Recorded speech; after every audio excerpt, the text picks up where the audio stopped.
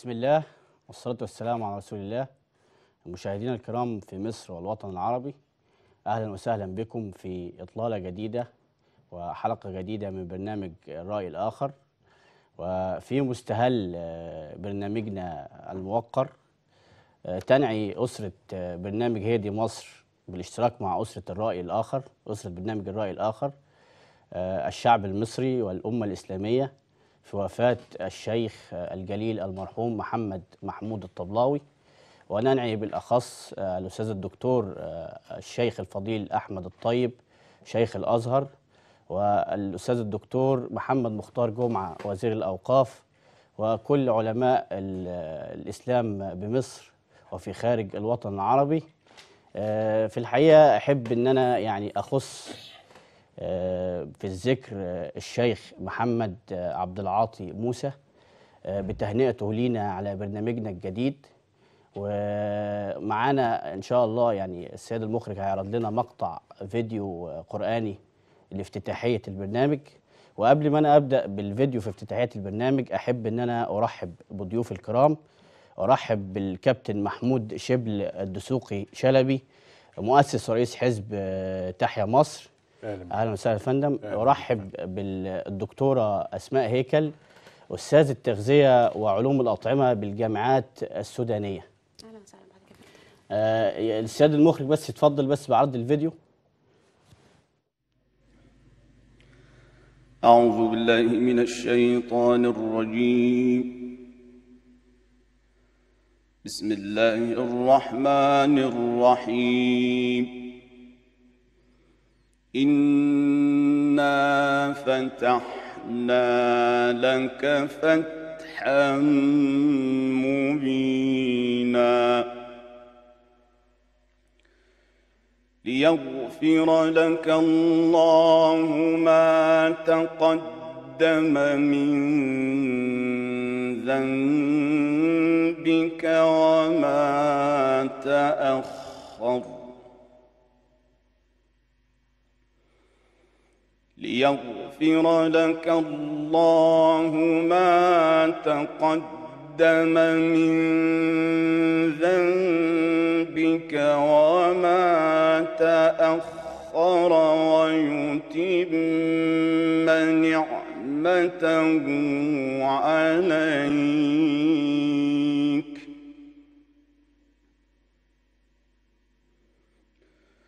ويتم نعمته عليك ويهديك صراطا مستقيما.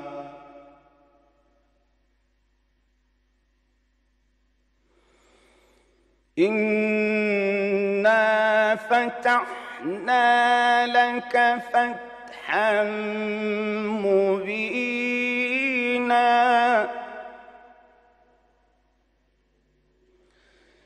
ليغفر لك الله ما تقدم من ذنبك وما تأخر ويتم نعمته عليك ويهديك صراطا مستقيما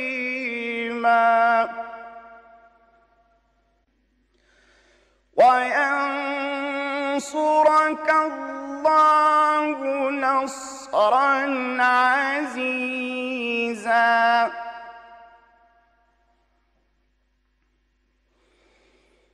هو الذي أنزل السكينة في قلوب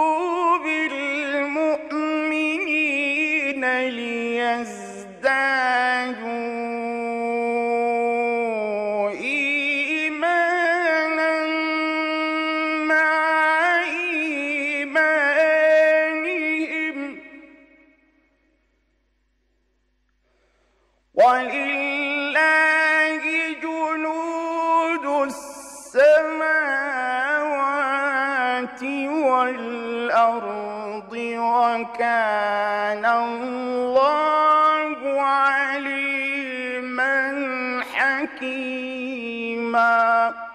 نشكر الشيخ محمد عبد العاطي موسى أحد طلاب وتلاميذ الشيخ عبد الباسط عبد الصمد رحمه الله وخليفته. وأعود مرة أخرى إلى ضيوف الكرام. والبداية مع الكابتن محمود شبل الدسوقي.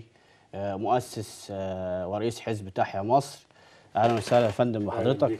أحب بس في البداية أن أنا أسأل حضرتك يعني الأهداف التي يقوم عليها حزب تحيا مصر وأهم المبادرات التي تبناها الحزب في الآونة الأخيرة في مواجهة فيروس كورونا وما قبل ذلك. اتفضل والله هو بالنسبة للأهداف إحنا بنشتغل على أيديولوجية مصرية بسيطة جدا جمال الشعب المصري.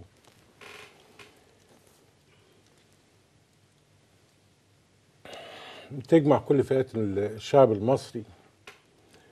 ومن ضمن ال- الشيء المحبب لينا إن إحنا بنتكلم في المبادئ إن إحنا لازم نبني مصر بأيدي المصريين وبنكافح الفساد السياسي والفساد المالي والاقتصادي وأينما وجد وبنحاول آه، بجهد الشباب وبجهد المواطن المصري إن إحنا نعمل رسم سياسة جديدة للدولة المصرية ولا تتغير بتغير رئيس الجمهورية سواء داخلية أو خارجية.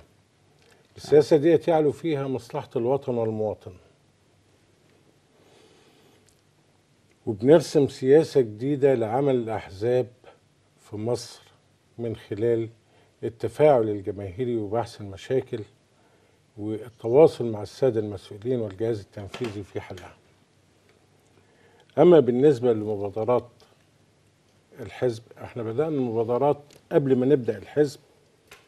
بدأنا من 2013 عملنا آه، مبادرة بناء المواطن المصري ومبادرة بناء مصر بأيدي المصريين واشتغلنا على بعض الحملات اللي حولناها بعد كده إلى مبادرات زي الحملة الشعبية للقضاء على فيروس سي وأمراض الكبد. استاذن بس الكابتن محمود والضيوف الكرام نطلع فاصل ونرجع تاني. فاصل ونواصل.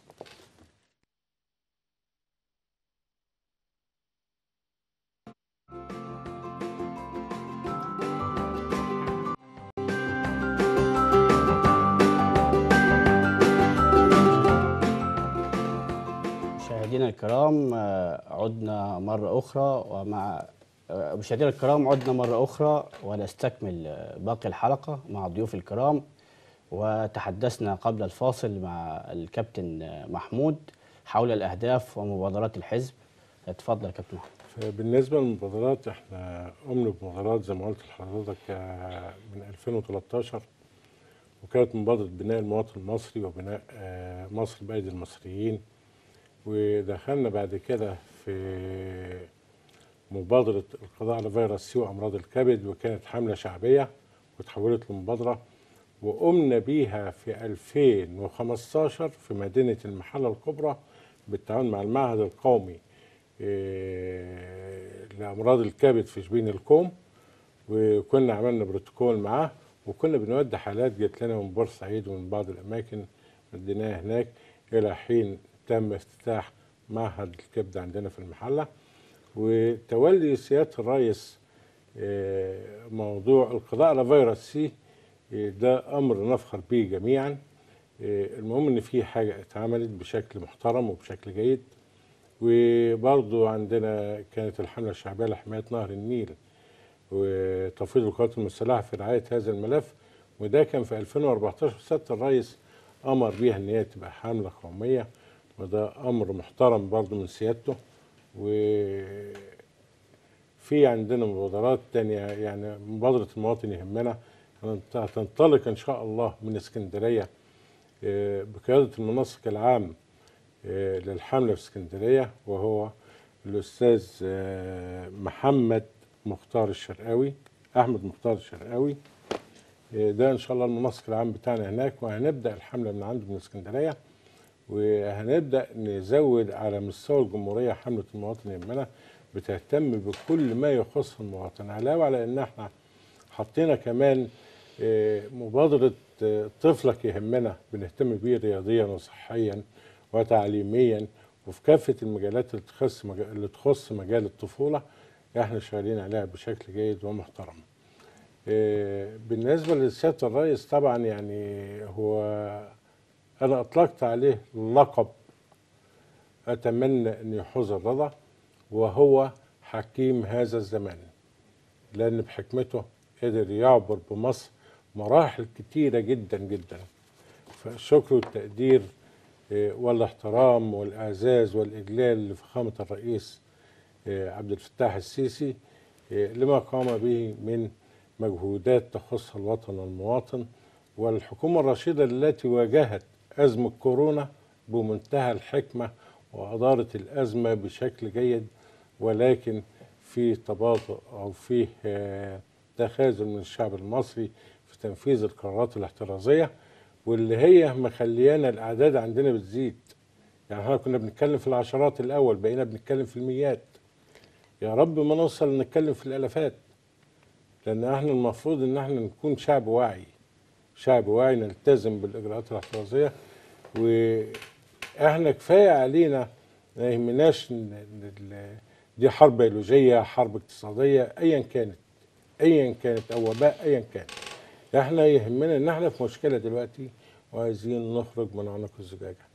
والخروج من عنق الزجاجة لابد أن يكون هناك آه، إجراءات احترازية الشعب كله يلتزم بيها عشان نقدر نعدي المرحلة اللي جاية دي. كابتن محمود آه، حضرتك طبعا قبل التصوير وقبل الفاصل آه، كنا بنتكلم في مشكلة العالقين آه، في السودان والطلاب العالقين في السودان وكيفية الرجوع طبعا إلى وطنهم الغالي الحبيب مصر. حضرتك تصوراتك لموضوع العالقين في السودان ومناشدة بعض المسؤولين في الدولة. هو إحنا عندنا دلوقتي حوالي 1500 أو 1405 آه، دول عالقين في السودان المسجل أسمائهم في سفارة جمهورية مصر العربية بالخرطوم.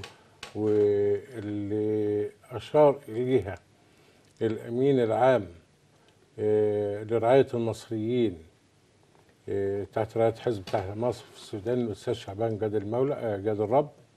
بعت لي تقرير بيقول لي إن في حوالي 1500 واحد أو 1455 حاجة زي كده.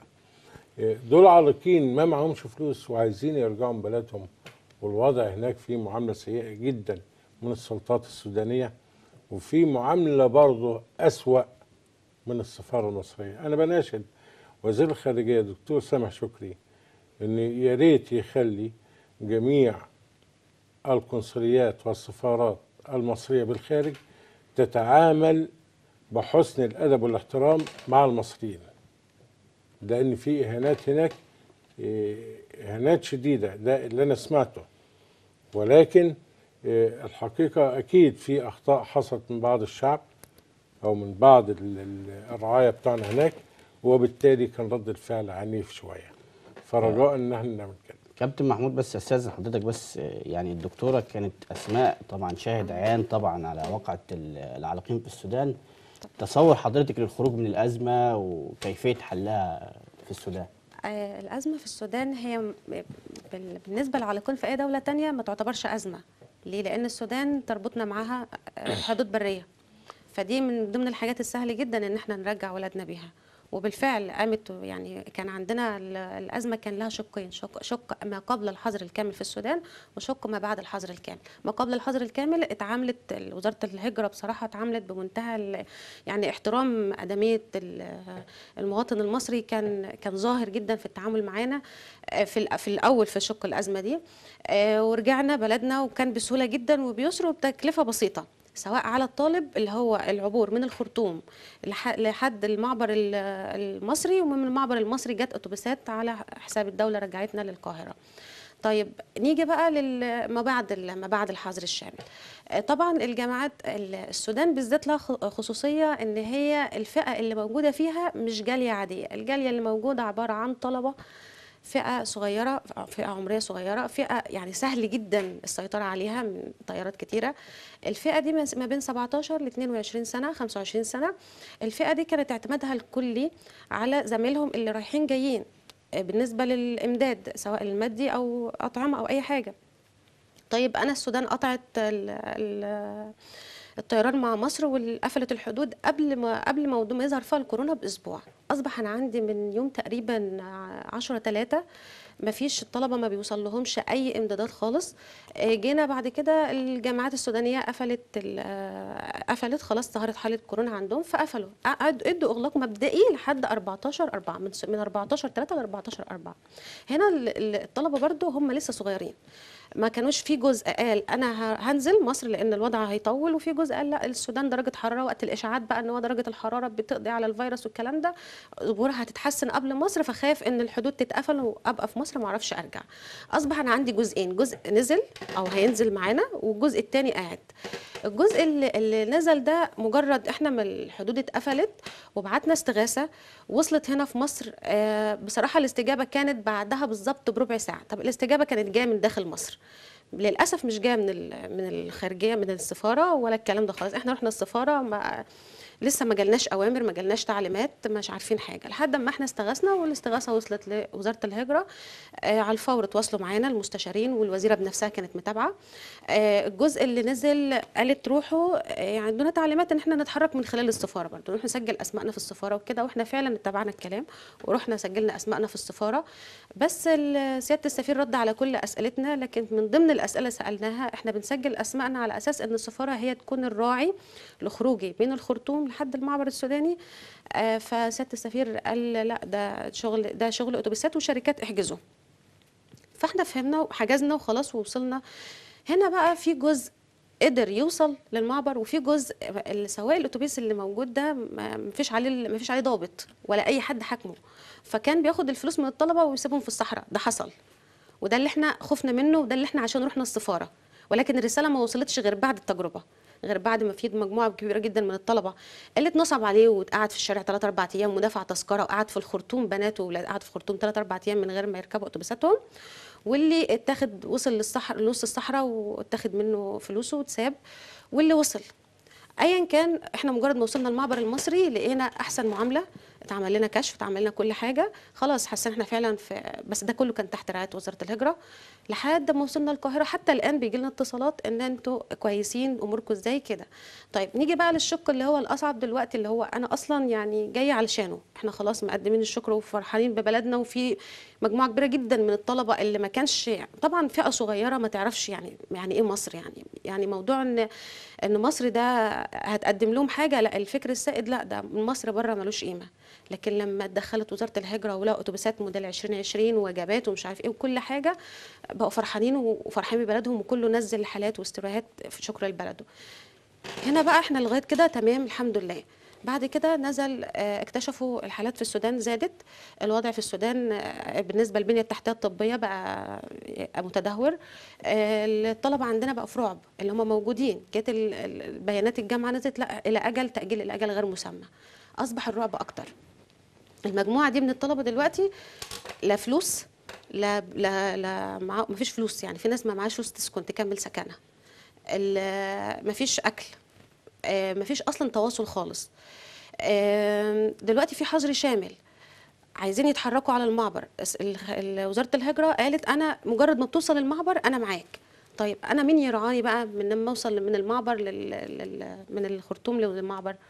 المفروض يكون في دور للسفارة أكبر. السفارة أخذت الرسالة بعد تجارب عديدة من بهدلتنا بعد ما اتبهدلنا.